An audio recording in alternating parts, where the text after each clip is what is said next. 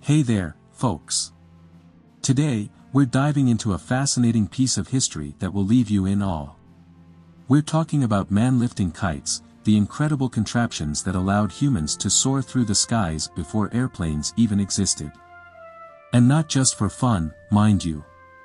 These kites were instrumental in aerial reconnaissance during the early 1900s. Imagine a time when the dream of flying was still just a fantasy. Man-lifting kites were the closest people could get to that exhilarating sensation. Originally used for pleasure and entertainment, these kites soon found their way onto the battlefield, becoming an indispensable tool for reconnaissance. But let's rewind a bit. The story of man-lifting kites goes back centuries. In ancient China, they were used for both civil and military purposes.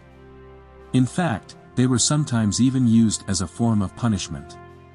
The Book of Sui, dating back to 636 CE, tells tales of prisoners being ordered to fly using bamboo mats. Talk about a unique way to enforce the law. Fast forward to the 19th century, and we meet Captain BFS Baden-Powell, the mastermind behind the Levitor kite. This hexagonal-shaped wonder was designed for the army to lift men for aerial observation and carry heavy loads. Baden-Powell's kite lifted a man 50 feet off the ground in 1894, and by the end of that year, he was regularly reaching heights over 100 feet. Around the same time, Lawrence Hargrave, an inventive soul, created the box kite. But he didn't stop there. Hargrave strung four box kites together and lifted himself off the beach in New South Wales, Australia. Can you imagine the thrill of being suspended 16 feet above the ground?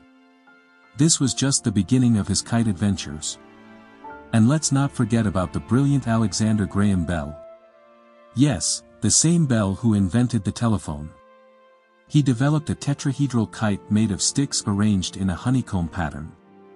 Bell and his team, the Aerial Experiment Association, revolutionized kite design, predicting the perfect balance between lift and weight.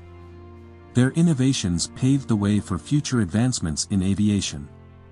But the man who truly stole the show was Samuel Franklin Cody. In 1901, Cody patented a kite that built upon Hargrave's double-box design. He saw the potential for military observation and even crossed the English Channel in a boat drawn by one of his kites. The Admiralty and the War Office took notice, and Cody conducted trials that reached record heights. His war kites became an official tool for the Royal Engineers.